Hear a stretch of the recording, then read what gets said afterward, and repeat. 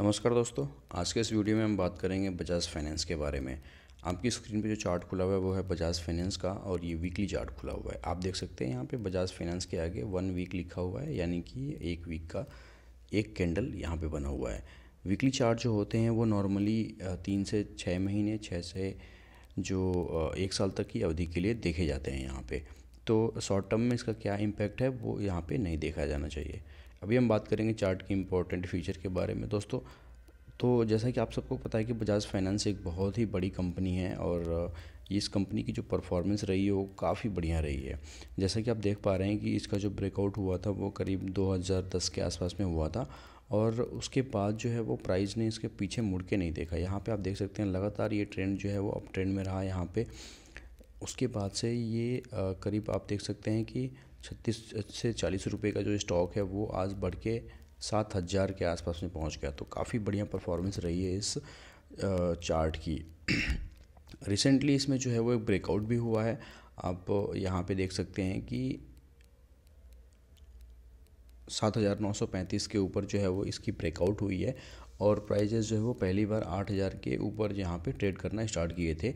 But यहाँ पे थोड़ा सा यहाँ पे रिट्रेसमेंट हुआ है और प्राइस जो है वो ब्रेकआउट लेवल के नीचे आया हुआ है।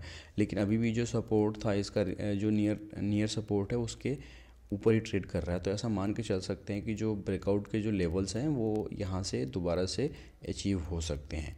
क्यों अचीव हो सकते हैं? इसके पीछे रीजन्स हैं, इसके पीछे इनकी फाइनेंशियल और कंपनी की परफॉर्मेंस है, जिसको हम आगे देखेंगे। तो पहले जो है, सबसे बढ़िया यही लगता है कि आप चार्ट को लंबे टाइम फ्रेम के लिए एक बार देखेंगे यहाँ पे। अब उन्नीस सौ छियानवे से चार्ट अवेलेबल है। स्टार्टिंग ईयर्स में यहाँ पे एक राउंडिंग बॉटम पैटर्न है, लेकिन उसके बाद में 2008 का क्रैश है तो ये जो पीरियड है उसको छोड़ देते हैं। लेकिन उसके बाद जब फाइनल ब्रेकआउट आया हुआ है 2010 के आसपास तो वहाँ से लेके ये चार्ट है कंटिन्यूसली अप ट्रेंड में है। मतलब इतना बढ़िया और इतना सुंदर चार्ट ये एक तरीके से फिक्स डिपॉजिट के जैसा ये चार्ट है।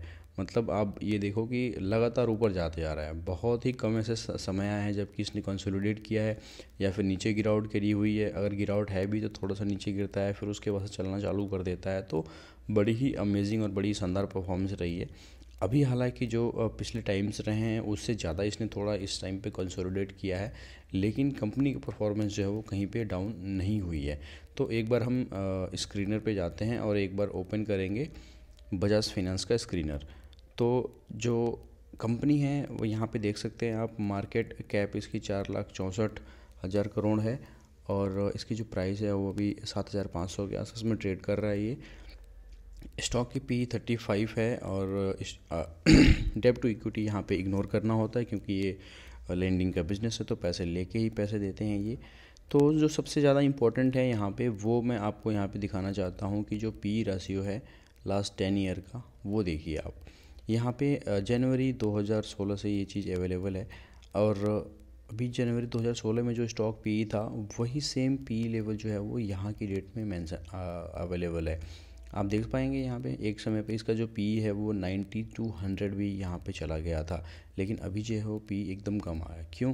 क्योंकि जो अर्निंग्स है वो ज़्यादा हुई है। अर्निंग्स आप देख पा रहे हैं यहाँ पे जो हल्का ग्रीन कलर का जो है, वहाँ पे ये अर्निंग्स यहाँ पे दिखाई दे रही है। अभी ये अनचेक कर दिया था मैंने, ये अभी चेक कर दिया। आप अर्निंग देखेंगे, यहाँ पे अर्निंग हाईएस्ट एवर अर्निंग है।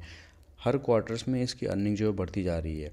लेकिन प्राइजेज़ जैसा कि आपने चार्ट देखा कि प्राइस नहीं बढ़ रहा है, इसलिए जो इसका पी राशि है वो कम होता जा रहा है, यानी और सस्ता होता जा रहा है ये। तो आप ऐसा मत सोचो कि ये स्टॉक प्राइस ने परफॉर्मेंस नहीं दिया है, इसलिए ये स्टॉक अच्छा नहीं है। आप देखो, अर्निंग्स देखो, लगातार बढ़ती जा रही हैं, जिसकी वजह से जो चीज़ पहले अवेलेबल थी, वो चीज़ और भी सस्ती हो गई है। तो मेरे हिसाब से ये एक बढ़िया सा बना हुआ है सेटअप, और सेम जो है वो आपको यहाँ पे प्रॉफिट एंड लॉस में भी दिखेगा। तो आप देखेंगे 2021 से इसके जो प्राइजेस हैं, जैसा कि आप टेक्निकल चार्ट पे देख पा रहे हैं 2021 से लेके अभी तक इसने कोई भी परफॉर्मेंस नहीं दिखाई है।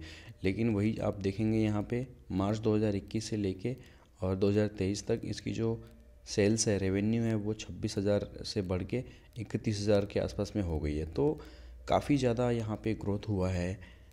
सेल्स के अंदर। सिमिलरली यहाँ पे देखेंगे आप जो फाइनेंशियल मार्जिन है, वो भी मार्जिन जो है वो काफ़ी ज़्यादा इम्प्रूव हुए हैं। सिमिलरली जो नेट प्रॉफिट है नेट प्रॉफिट भी आप देखेंगे यहाँ पे चार हज़ार से बढ़ के यहाँ पे तेरह हज़ार तक आ गई है। तो इस तरीके से आप देखेंगे कि कंपनी की जो परफॉर्मेंस है वो लगातार बढ़ती जा रही है, लगातार इम्प्रूव हो रहा है।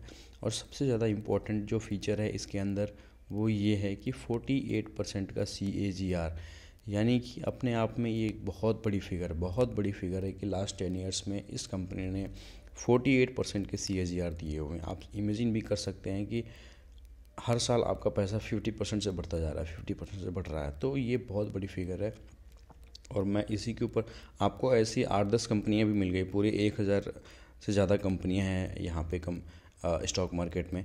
आपको ऐसी दस कंपनियाँ भी मिल गई तो आप यहाँ से मतलब काफ़ी अच्छा पैसा कमा के जा सकते हो।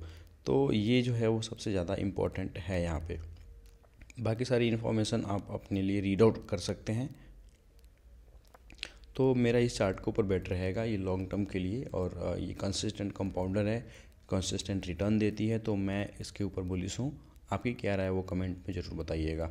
वीडियो अच्छी लगी आपको तो आप इसे लाइक करिए शेयर करिए अगर आप चाहते हैं कि ये नॉलेज किसी और के साथ में शेयर हो और चैनल को सब्सक्राइब करिए, आप ऐसे ही नॉलेज वाली वीडियो अगर आप देखना चाहते हैं। Thank you for watching the video